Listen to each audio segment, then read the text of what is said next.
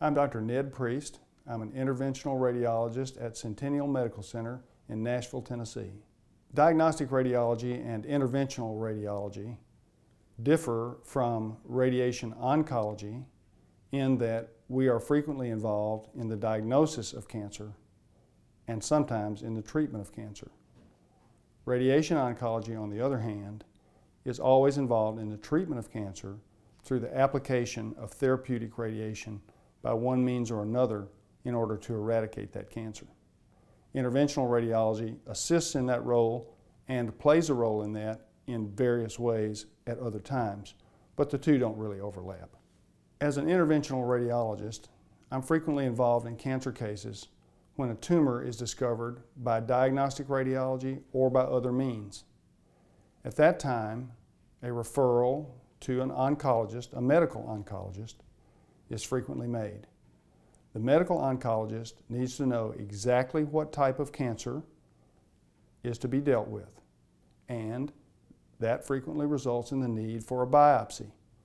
As an interventional radiologist, I perform invasive, image-guided procedures. And so, patients with tumors frequently come to me to have a biopsy of that tumor so that cellular material from the tumor can be looked at under the microscope and an exact diagnosis made.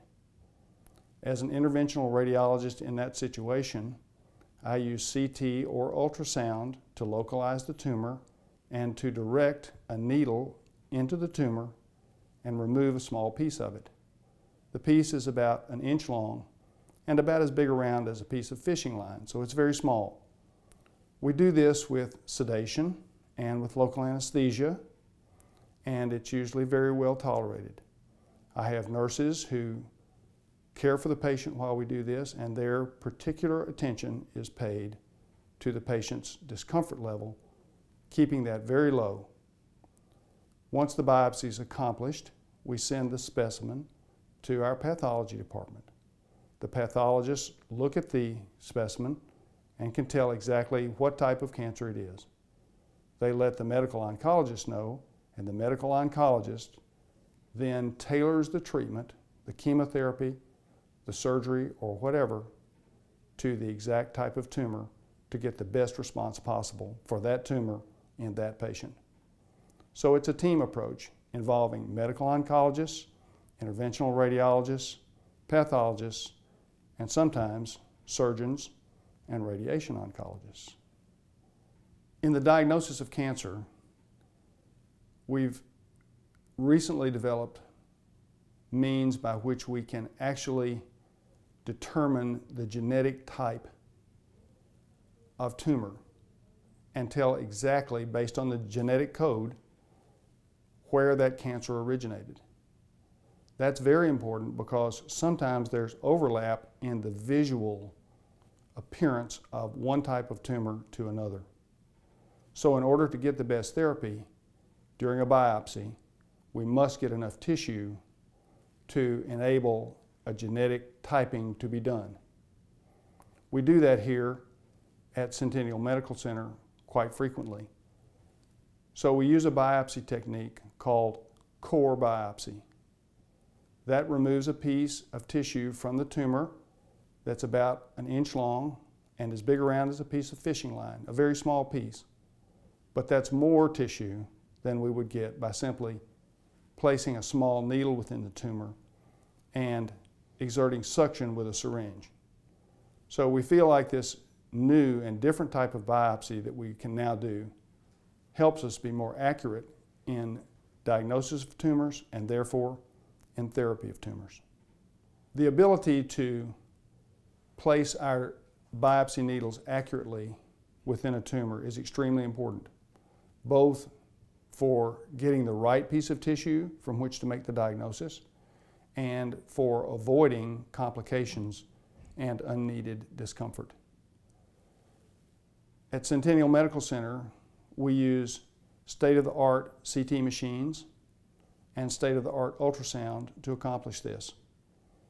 It's very important that we be able to document that the needle was within the tumor so that we'll know for sure that the material we're looking at is a piece of tissue from the tumor in question.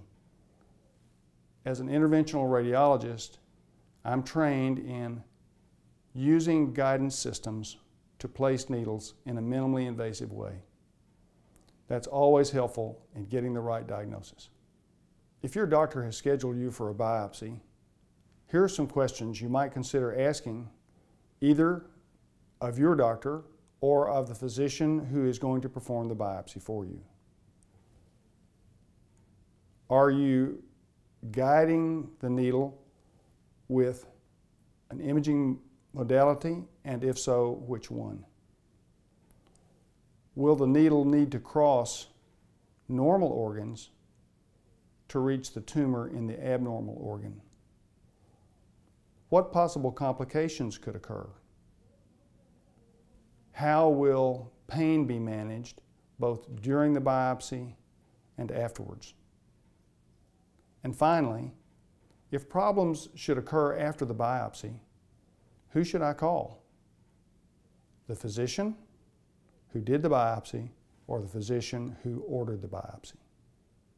A diagnosis of cancer is frightening and bewildering. I encourage you to educate yourself and to ask your doctor and all the doctors you encounter along your treatment program to explain the reason for the treatment, how the treatment actually works, and what can be expected afterwards, and to explain this in terms that you can understand. Cancer is a minefield or a sea filled with icebergs. To navigate that, you need to be educated, and you will navigate that iceberg filled sea better if you're educated and if you take ownership of your own path of therapy. You need lots of resources. And the Minnie Pearl Cancer Foundation at minniepearl.org has many resources that you can call on independent of your doctor or your hospital that can help you navigate this treacherous sea.